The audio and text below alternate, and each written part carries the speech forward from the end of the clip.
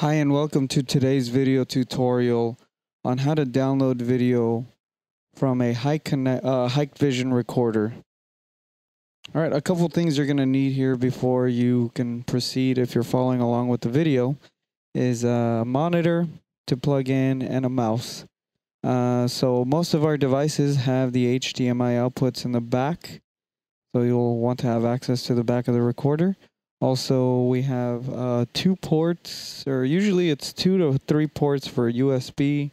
On smaller recorders, it's most likely just two. So uh, you'll want to have those accessible also, so you can plug in uh, your USB hard drive or USB uh, thumb drive to download the video. So the larger the video, you might want to go with a larger capacity thumb drive or hard drive.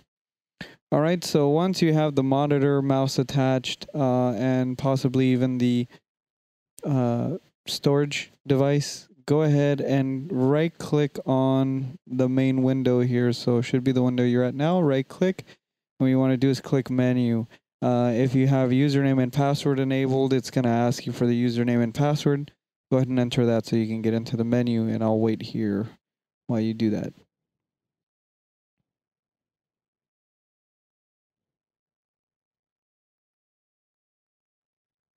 All right, once you have entered the username and password, again, you should go to the main menu by right clicking, going to main menu or menu. And then what you'll see here is some options, and you want to click on where it says playback. Okay, in this playback window, there's a few things to look at here. On the right side is a tree of cameras. Uh, these are the cameras that are either uh, plugged into the recorder or just the channel number for where the pl- camera would be plugged in. If you have a DVR, they would say A1 through however many channels you have. If you have IP, it'll say D1 through however many channels you have. So A stands for analog, D stands for digital. Okay, if you have a hybrid or a tribrid, it's something that can do both, you'll see A and D's in there and that's for analog and digital or IP cameras.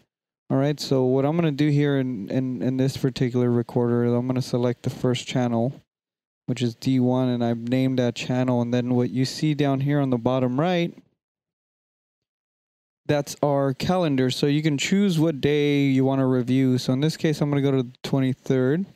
All right, so I'm double clicking there, and it's going to open up the video for the 23rd. All right, a couple other things to note. Even further down, you can select how large the window size you want for reviewing video.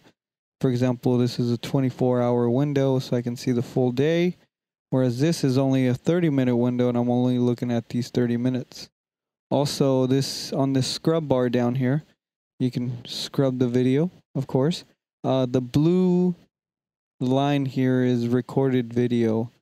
So blue means continuous. This is for like 24/7 operation. Uh where the yellow one here or orange however you're looking at it is uh for event-based recording uh, like motion, line crossing, that sort of thing. Uh, we won't cover that here, just so you know. And then the green is the smart, uh, which we will cover in future videos. So what you want to do here is select the starting time of you know where the event happened. So you can go ahead and drag and drop the video. I'm going to pause it down here. So you have your play actions down here. And then these are the uh, the features. So you can take snapshots you can record whatever video you're looking at or you can choose a start and stop time for what you want to download. So this is what we're going to do down here for the start and stop time so I'm going to choose that 1623.34 is going to be my start time. So I click that. You notice the icon has changed over to the stop time. So now all I got to do is go over to where I want to stop. So I'm going to do like 25 minutes, uh, 1625.08, which is about a couple minutes. And I'll do the stop time. All right. So what I've done now is I've created a clip to download the video. Your next step here is to select the file management icon, which looks like a little gearbox down here. All right, we'll click that. And it's going to take me to the uh, file management window. uh, here you'll notice I have one file created, and that's that file we just did the start and stop uh, action for. And so it created this file. Uh, there's a couple other ones like the capture that I was mentioning earlier, where you click and you record the video. And then there's log and tags, which we also cover in later videos.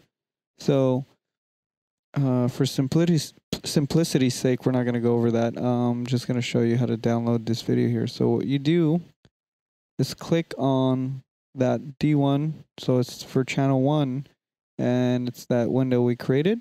All right, let's go down here, click export. All right, and you're going to see some, uh, well, you'll see it's taking us to the export uh, window here. So here you can select the hard drive you want to download the video to. So I already have, uh, I already have a few files in here, so uh, I can choose to delete them. Just so you know, the the drive has to be formatted for it to work. So if you haven't formatted before, go ahead and format it. Just note that anything that's on that USB drive or hard drive is going to be erased when you format.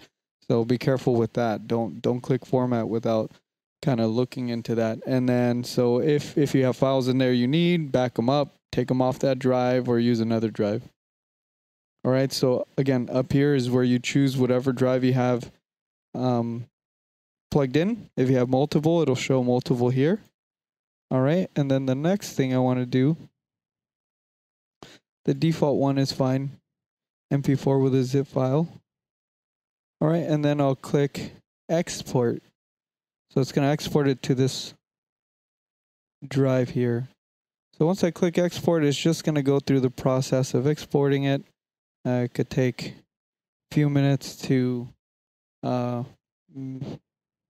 longer times depending how large that file size is. So just know if you're downloading like an hour of video, it's going to take a lot longer than this, where I'm only downloading a couple minutes. All right, so now it says file has been exported. So if I go down here, tells you the date I did it, which was today, how large the file size is, and there is the file. So this is an MP4 format. Uh, just so you know, you cannot play this on a Windows machine natively. Uh, Windows Media Player does not support the codec for for this uh, format. But uh, one thing to know is when when this file is is downloaded in there, it created a zip folder that you won't see here, but that zip folder, what it'll have is a little uh, executable player in there that you can drag and drop the video and review. So if, if the police department doesn't want to download external players and that sort of thing, they have that in there that they can use. Uh, I always recommend downloading VLC because it supports many, many, many different kinds of codecs and formats. So uh, that's something to consider there uh, using VLC Media Player. All right, so that concludes this video on how to export video from your Hikvision recorder. Thank you for watching.